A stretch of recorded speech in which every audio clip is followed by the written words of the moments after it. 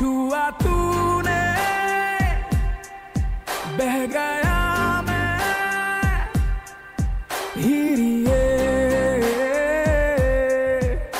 जो अब तक किसी ने कभी ना किया इश्क।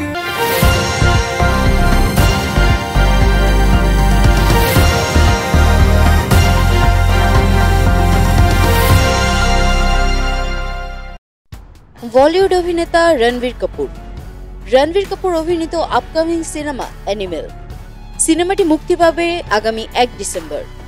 মুক্তির আগেই বক্স অফিস মাতিয়ে রেখেছে সিনেমাটি। অ্যাকশন বাবা। বাবা। বাবা। বাবা। দে বেরা নাই সিনেমায় রণবীর কাপুরের লুক ও ডায়লগ নেটিজেনদের বাহবা কুড়োচ্ছে। পঁচিশ নভেম্বর থেকে শুরু হয়েছে সিনেমাটির প্রি বুকিং ইতিমধ্যেই মুভিটির ঝুলিতে এসেছে ছয় কোটি চল্লিশ লাখ টাকা। দুই লাখের ওপর টিকিট ইতিমধ্যেই বিক্রি হয়ে গেছে। বিশেষজ্ঞরা বলছেন, মুক্তির দিনই পঞ্চাশ কোটির ব্যবসা করবে রণবীরের অ্যানিমেল। হিংসা, প্রতিশোধ, রক্তাক্ত অতীত ভবিষ্যতের সঙ্গে প্রেম, ভালোবাসার বন্য গল্পকে ট্রেইলারে এমন রোমাঞ্চকরভাবে তুলে ধরেছে অ্যানিমেল।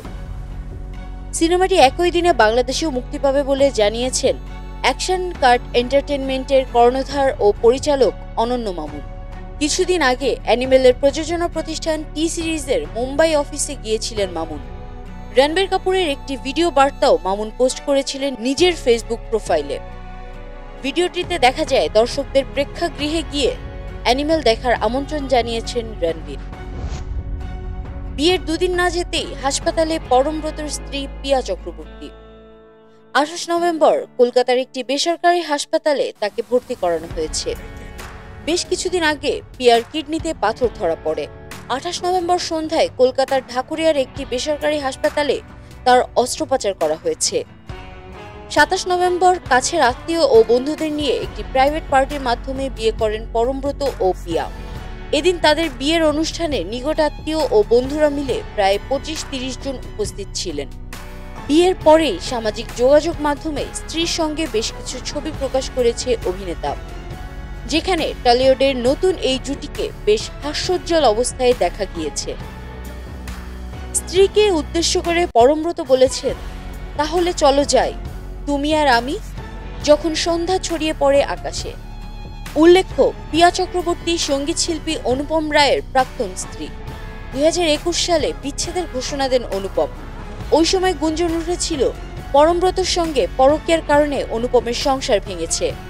সাতাশ নভেম্বর পিয়ার গলায় মালা পরিয়ে সেই গুঞ্জন বাস্তবে রূপ দেন পরমব্রত।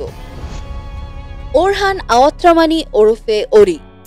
শুধুমাত্র ছবি তুলে এক রাতে যার আয় বিশ থেকে তিরিশ লাখ রুপি। দিন দিন জনপ্রিয় হয়ে উঠছে নরি। আম্বানিদের বাড়ির গণেশ পূজা থেকে শুরু করে শাহরুখের জন্মদিনের পার্টি সহ মনীষ মালহোত্রার দীপাবলি পার্টিতেও দেখা মিলেছে তার। সেলিব্রিটিদের সাথে বিভিন্ন পোজ দিয়ে ছবি তুলে সোশ্যাল মিডিয়ায় আপলোড করেন এবং বিনিময়ে বলিউডের এই রহস্যময়ী ইনফ্লুয়েন্সার নেন বিশ থেকে তিরিশ লাখ রুপি। বিগ বস সতেরোতে ওয়াইল্ড কার্ড এন্ট্রি হিসেবে এসেছিলেন তিনি। বিগ বস হাউজে যাওয়ার আগে সালমানের সঙ্গে মঞ্চে ওরির খুনসুটি ও কথোপকথন ইন্টারনেটে ঝড় তুলেছে। ভাইরাল হয়েছে বেশ কয়েকটি ভিডিও। কথোপকথনের এক পর্যায়ে তিনি বলেন, তিনি বিভিন্ন অনুষ্ঠানে তার নিজস্ব পোজে সেলফি তুলে এক রাতে বিশ থেকে তিরিশ লাখ রুপি আয় করেন। এই তথ্য শুনে সালমান হতবিহবল হয়ে পড়েন। ওরি জানান, আমার তিনটি ফোন, একটি সকালে, একটি দুপুরে ও একটি রাতে ব্যবহার করি, যেন ফোনের চার্জ শেষ না হয়ে যায়। সালমান তখন জানতে চান, এতগুলো ফোন দিয়ে ওরি কি করেন। ওরি বলেন, ভালো ছবির অনেক সুবিধা আছে। মুহূর্তগুলো যেমন ধরে রাখা যায়, ছবিগুলো থেকে যায় আজীবন। ভালো ছবি তোলো, ভালো এডিট করো, পোস্ট করো। কার জন্য ছবি তোলেন জানতে চাইলে তিনি বলেন, তোমাদের জন্য, আমার নিজের জন্য। সালমানকে অবাক করে দিয়ে ওরি জানান, তার পাঁচজন ম্যানেজার আছে।